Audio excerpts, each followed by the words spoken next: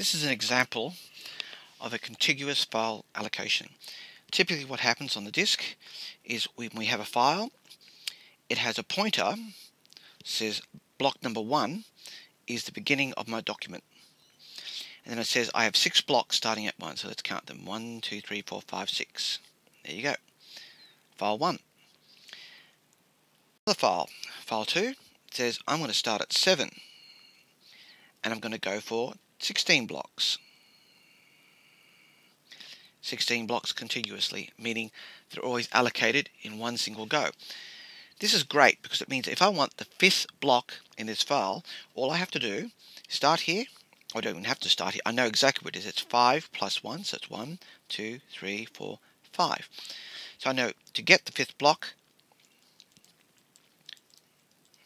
all I have to do is go directly to 11 literally one read. I mean, and you can edit and replace it, etc. Now just continue. Here's my third file, starting at block 23, and it's got 38 blocks here. It's 38 blocks total there. That's okay.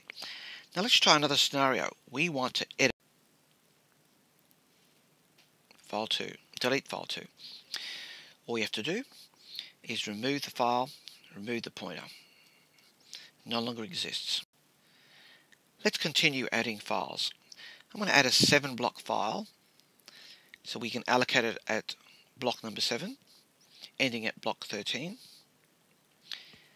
and uh, there's a bit of wasted space here. Notice there's a bit of space empty. Now, we've got an interesting situation to think about.